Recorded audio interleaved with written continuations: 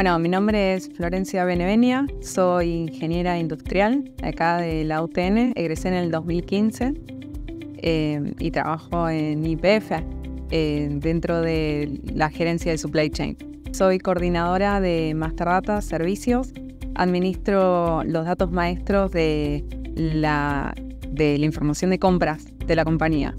Nosotros definimos cuáles son los ítems de materiales que están en almacén y que se estoquean y que se usan para producir, los servicios que se compran, eh, los servicios que se necesitan para poder producir una nafta que termina en las estaciones de servicio.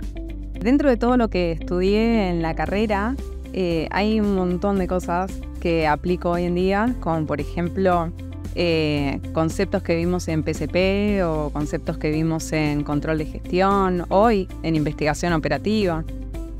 Casi llegando al final de la carrera, uno empieza a sentir que le está remando y que se empieza a hacer un poco cuesta arriba.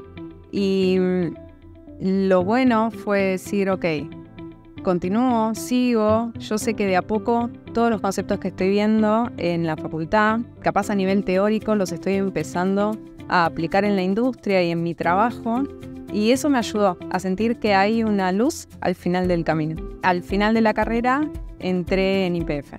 Hubo dos momentos que fueron como claves para mí, consejos que me ayudaron.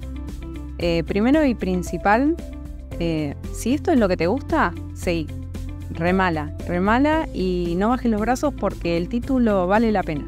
Después vos te das vuelta con el título en la mano y te das cuenta que irte a final o recursar una materia no es el fin del mundo y que capaz ese profesor que era tan exigente y que te pedía tantos trabajos prácticos o te pedía estudiar tantas cosas, al final es el que más enseñanzas te dejó.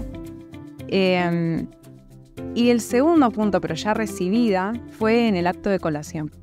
En el acto de colación, el ingeniero Zack nos dijo, bueno, esto que nosotros les estamos dando es un certificado de calidad. Y después ustedes eligen cómo usarlo. Y es cierto, es así, uno elige qué tipo de profesional ser. De chica yo siempre soñé con ser docente. Eh, me gustaba mucho enseñar a mis compañeros y hoy soy docente de investigación operativa acá en la UTN estar en una empresa como IPF a nivel mundial líder en el mercado, a uno también le da la posibilidad de pensar que puede trascender, que puede desarrollar algo y trascender. Y eso es lo que busco para el futuro.